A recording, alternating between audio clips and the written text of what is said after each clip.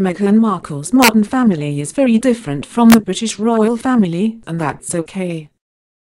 There is a good reason why Meghan Markle has become the most Googled name in the world. She's the Californian beauty who is engaged to everyone's favorite British royal, Prince Harry.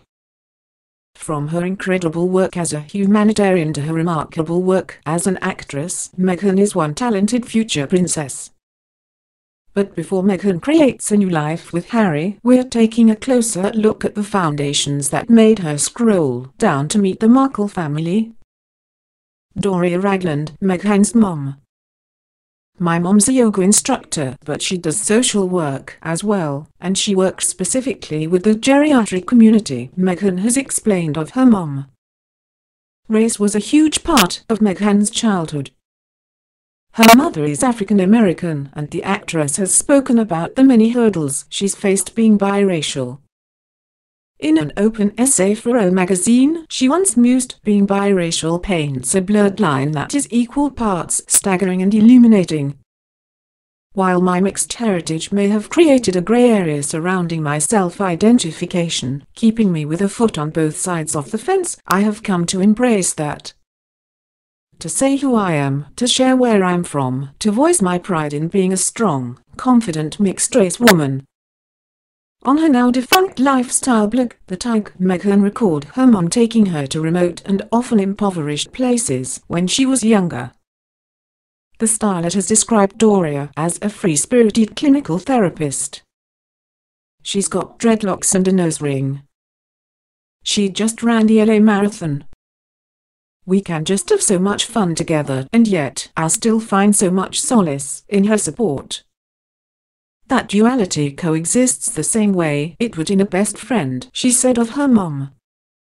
Last year, Meghan celebrated her mom when she graduated with her master's in social work from the University of Southern California.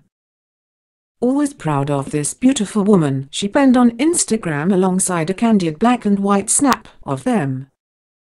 This was when she graduated from USC with a master's in social work. Honoring my mom, Doria, and all the amazing mamas in our lives. Thomas Markle, Meghan's dad. The showbiz gene runs strong in the family. Meghan's father, Thomas, now 72, was a lighting director on the 80s sitcom Married with Children describing him as the most hard-working father you can imagine. She has shared, my father was the lighting director on two television shows as I was growing up. He was also a voice of reason for Meghan. Recounting an identity crisis when she was asked to tick a box marking whether she was black or white, her dad told her, if that happens again, you draw your own box. Despite her parents not being a couple, they had an extremely amicable relationship. What's so incredible, you know, is that my parents split up when I was two, but I never saw them fight. We would still take vacations together. My dad would come on Sundays to drop me off and we'd watch Jeopardy. Eating dinner on TV trays, the three of us. We were still so close-knit, Meghan recently told Vanity Fair. Meghan recounted a sweet story of how her dad once customized two Barbie doll sets so that she could have a mixed-race doll family. Writing for Elle she said, on Christmas morning, swathed in glitter-flecked wrapping paper, there I found my heart family, a black mom doll, a white dad doll, and a child, in each color. My dad had taken the sets apart and customized my family, Today, Meghan's father still plays an important role in his daughter's life. According to his son and Meghan's half-brother, Thomas Markle Jr., he has already met Harry.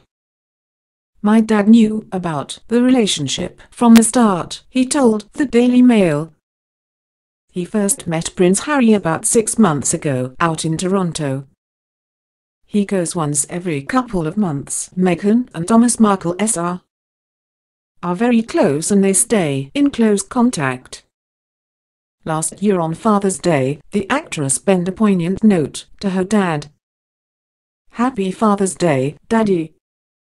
I'm still your buckaroo and to this day your hugs are still the very best in the whole wide world. Thanks for my work ethic, my love of Busby Berkeley films and club sandwiches, for teaching me the importance of handwritten thank you notes and for giving me that signature Markle nose. Thomas Markle Jr. Meghan's half-brother. Meghan's half-brother, Thomas Jr., is 15 years older than the star. The 50-year-old, along with Samantha Grant, are the kids from Thomas S.R. S first marriage to his now ex-wife Roslyn. Meghan is said to still be relatively close to Thomas despite his run-in with the law and the fact he regularly shares details of his sister's romance. At the start of the year, Thomas Jr. was arrested in Oregon after a drunken fight saw him allegedly threaten his girlfriend with a gun. In an emotional and exclusive chat with Woman's Day just days after he was released on bail, Tom fought back tears as he explained he was desperately sorry for his actions and hoped Harry and Meghan would be able to forgive him. Meghan's relationship with Harry has been going from strength to strength and this drama is the last thing I wanted to happen, Tom said at the time. I want to tell my sister that I'm truly sorry from the bottom of my heart. He also revealed she's very much in love and she's obviously happy because if she wasn't happy, she wouldn't be there. I think it is wonderful. As long as he takes care of and loves Meg, he doesn't have to do anything else. He looks like a genuinely good man and he was in the services as well. He looks happy, he looks like he's stress-free and like he could be a good guy for Meg. They get along and that's what matters. Harry is lucky. Samantha Grant, Meghan's half-sister. Samantha is a former actress and model. Now a 52-year-old mother of three who lives in Florida, Samantha is Thomas S.R. S. eldest child from his first marriage. Samantha who is now wheelchair-bound after she was diagnosed with multiple sclerosis in 2008 has publicly criticized Meghan, alleging she was always ambitious to become a princess and had a soft spot for gingers. Describing her as a social climber, she has said, I didn't feel a separation from her until I was in the wheelchair. The royal family would be appalled by what she's done to her own family, the truth would kill her relationship with Prince Harry.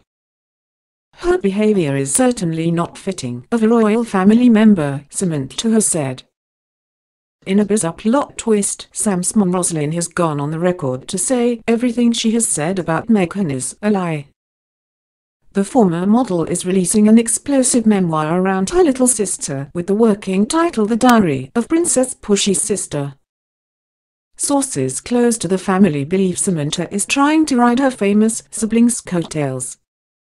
Samantha doesn't have a relationship with Meghan and she never has, one source told E! News, adding Samantha was trying to take advantage as they are 17 years apart. They were never raised in the same house. Meghan was raised an only child by her loving parents. Meghan has never done anything to her and continues to take the high road. Guy and Bogart, Meghan's dogs.